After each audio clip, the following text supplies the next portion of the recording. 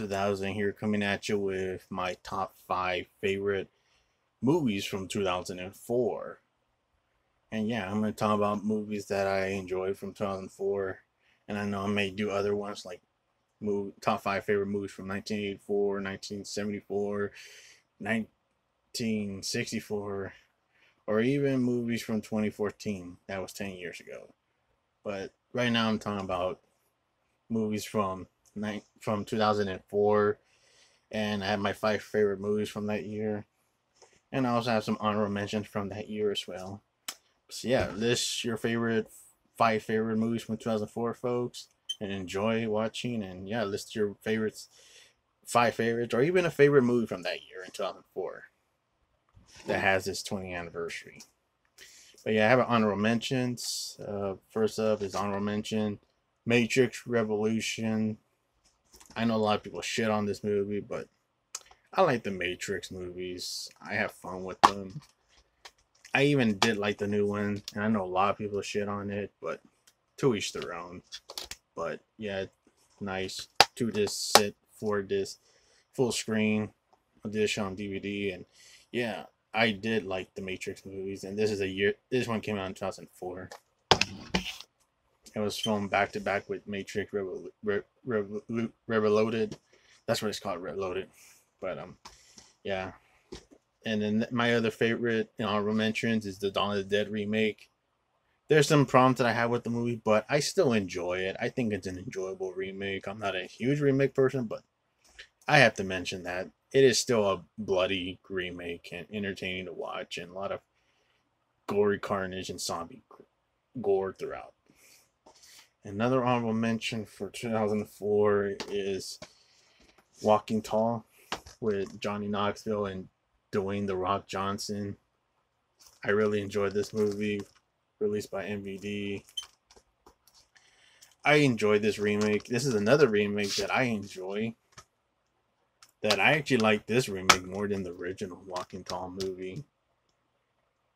I don't know, it's just I felt like this one was I felt like it told the story much better, and it was more fast paced. And I feel like the movie goes real quick. Like you're just gonna walk into a thrill ride of an action movie that kicks ass and taking on things like a motherfucker. And yeah, I enjoyed the one, the Walking Tall remake with The Rock. It's a good movie.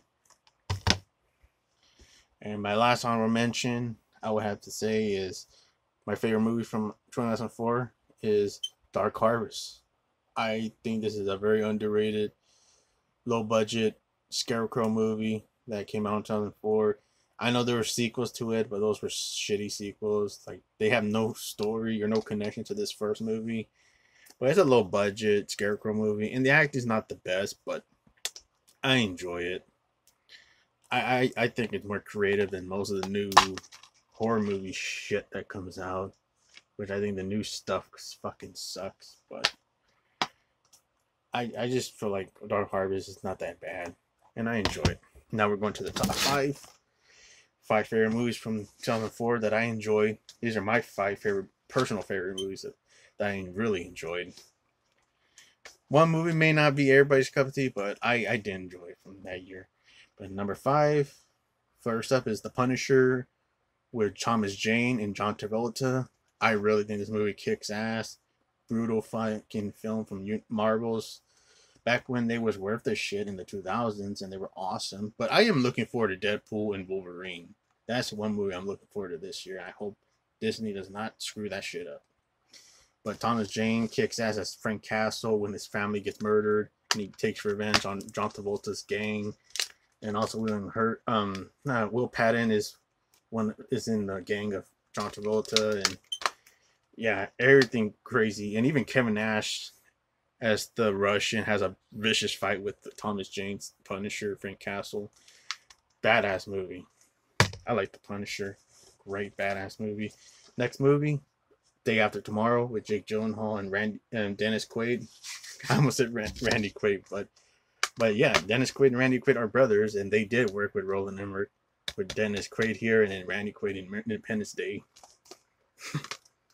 But yeah, Independence Day, I enjoyed this one with Jake Gyllenhaal and Dennis Quaid. Pretty good disaster movie, like this you know, disaster movies like Twister, Volcano, and The Core. This movie is really good. Pretty cool special effects. Well done on the disasters with the flood in New York, the tornadoes in LA. Like, that shit is fucking insane, man. And I always thought this was one of my favorite uh, Roland Emmerich movies, and this movie still rules, and it's criminally underrated. Great movie. And and also like the movie just has insane special effects. Like just not not ugly CGI crap. It's like convincing CGI, especially the tornado in LA taking over LA. That's fucking insane. And then my third favorite movie from 2004 is Mean Girls with Lindsay Lohan and Tina Fey and Rachel McAdams. And this, yeah, I know people may say, "What the fuck do you have this movie on your list?" Yeah, it was a movie that my sister used to watch all the time, and I was not really into the chick flick movies, but this one, I thought this one was well acted and well scripted, and it was a pretty funny movie, and you got some pretty good actors in there. Of course, Rachel McAdams was in Red Eye. I like her in that movie. So yeah, and also uh, what's that girl's name? But the girl that plays Janice, that that actress was also in the Castle Rock TV show as well. But all in all, I enjoy it. It's a lot of fun, pretty good acting, and also the guy that plays Damien, he's in that movie Bully, which is a very underrated drama movie. But yeah, Mean Girls, pretty fun movie.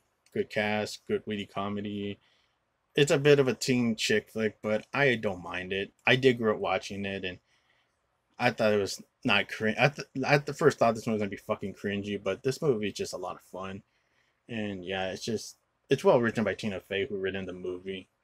But I know they came out with a fucking remake that was just looks really stupid to me, in my opinion. The musical, which I don't give a fucking shit about that. Fuck the remake. The original's better. then number two, is Van Helsing. This is a badass motherfucking movie with Hugh Jackman and Kate Beckinsale kicking ass like motherfuckers. On all, the 4K is great. Badass action sequence with the vampires and the werewolves and the Frankenstein monsters. All that cool fucking shit. Directed by Stephen Sommers from the director of Deep Rising and The Mummy. This movie kicks ass definitely an underrated badass movie. And I know a lot of people don't like this movie, but I love it. People may have hate this movie, to each their own, but I love this movie. It fucking rules. And then my favorite movie from 2004 is Napoleon Dynamite. I really did enjoy this movie. It's a lot of fucking great, funny shit throughout this movie. I feel like this is one of the best 2000s movies of all time.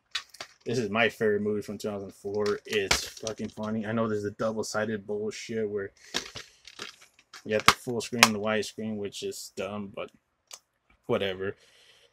This movie still holds up. Great cast. Jon Heder, Jon Gries, Aaron Ruell, Efren Ramirez, Tina Majorino, and Diedrich Bader. Great fucking cast. And yeah, it's also directed by Jared Hess, who directed Nacho Libre which is another fucking awesome movie in the 2000s. But this movie is a lot of fun.